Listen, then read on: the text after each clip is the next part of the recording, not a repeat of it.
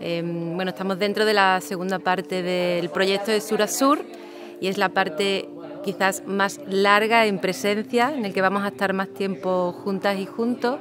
Y los objetivos principales eh, creo que se, se, condensan en esta parte, ¿no? que es la creación colectiva de un espectáculo entre todas estas identidades. ¿no?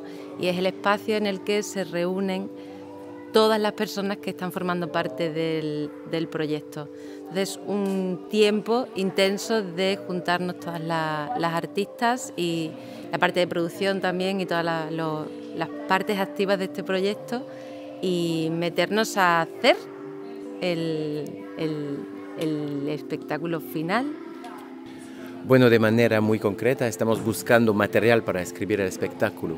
Esta escritura va a ser como una suma de las cosas que encontramos juntas. Entonces tenemos como varios días para encontrar el material y son pequeñas escenas, eh, partes de trucos o de números que ellas tienen de manera individual y ensayamos mudar eso para irnos de lo individual a lo colectivo. Es decir, tendremos no solamente 10 personas en la escena todo el tiempo, sino a momentos un solo que se envuelve en tres personas usando la otra para hacer un solo acompañado. Entonces es como materia, como un, puzzle, se dice en español, un puzzle, no sé cómo se pronuncia, pero algo con diferentes piezas y después las vamos a poner en orden y encontrar una escritura.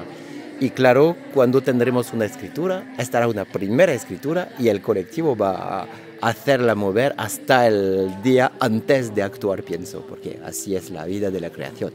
La base de la creación colectiva en el que todas las artistas están poniendo em, eh, su mirada y su voz creativa al servicio del, del proyecto y en el que todo el tiempo estamos encontrando dinámicas en la que las 12 personas que formamos parte del equipo creativo podamos llegar a líneas comunes y no solamente mirar en, la finalidad del espectáculo, sino también en el proceso, ¿no? y poner también el trabajo grupal y los cuidados en el centro.